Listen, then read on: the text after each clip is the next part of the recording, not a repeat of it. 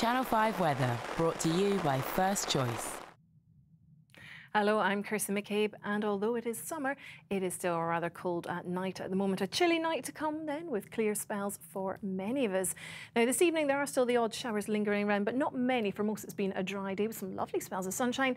The showers fizzling out, though, through the night. It's dry, apart from the very far north of Scotland. Some rain likely here, maybe for the Shetland Isles.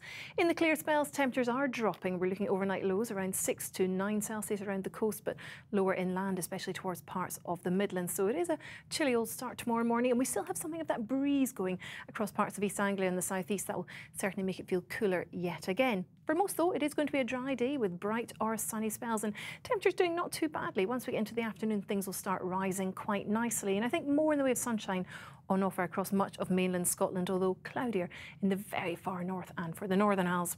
More in the way of sunny spells too across much of England and Wales. It is going to be a little bit cloudier at times towards the coast where we have the breeze on shore, but otherwise looking very nice indeed. We're looking at the mid to high teens. The one thing to watch out for at this time of year, of course, is high UV levels and high pollen levels as well. In fact, some of those could creep up to very high as we get towards the middle and the end of the week.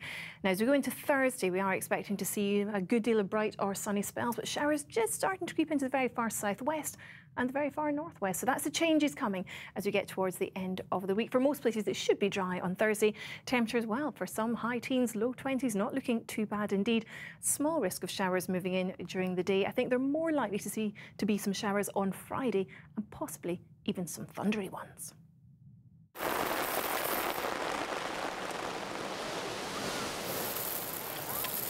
Channel 5 weather brought to you by First Choice.